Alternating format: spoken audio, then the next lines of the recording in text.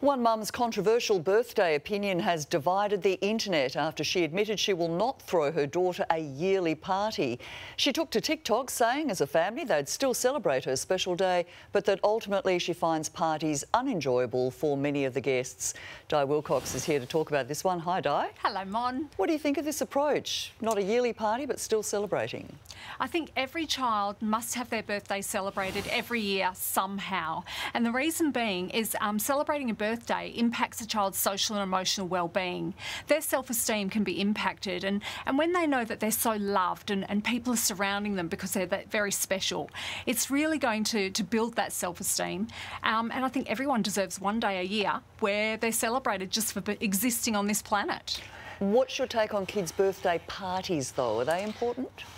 Look, birthday parties can be fun and it's a great opportunity for children to be surrounded by family and friends, but they can lose their fun very quickly if mum and dad are stressed trying to set this birthday party up. They're worried about the financial pressure of the birthday party. The child wants their parents to be engaged and present for their birthday. So I think as a family, you can set special traditions yourself. For my uh, girls, my mum used to buy a single helium balloon with a birthday card and leave it on their desk at school school for them to find at recess or lunch. And that little thing made my kids feel super special. Birthday parties, they can get out of hand. Do you think perhaps that sometimes they're more about the parents than the kids?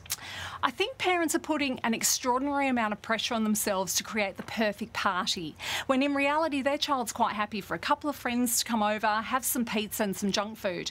But I think social media has a part to play here. We're seeing pictures of extravagant parties, extravagant cakes, and parents are feeling the pressure to give their kids the best. And I totally understand that, but we need to remember that our kids would much rather we're happy and engaged on their day than stressed out. All right, so what advice do you have for parents then to keep festivities in check?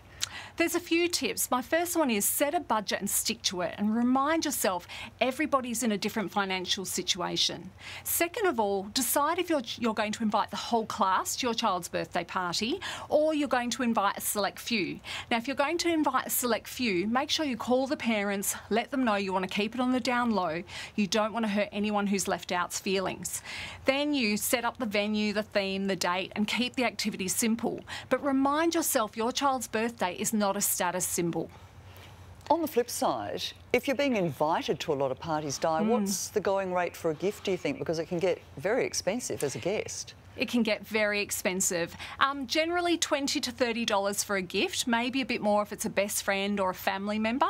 But what I want to say to parents here is when your child's receiving a gift, um, make sure they thank the guest, take the gift, put it to one side. And I recommend that they open the presents all together when all the guests have gone to just save that embarrassment and awkwardness and get your child, you know, use that as a teachable moment to tell your child, be grateful for everything you've received um, because not everyone is in the same situation. Di Wilcox, been good to chat with you again. Thanks for having me.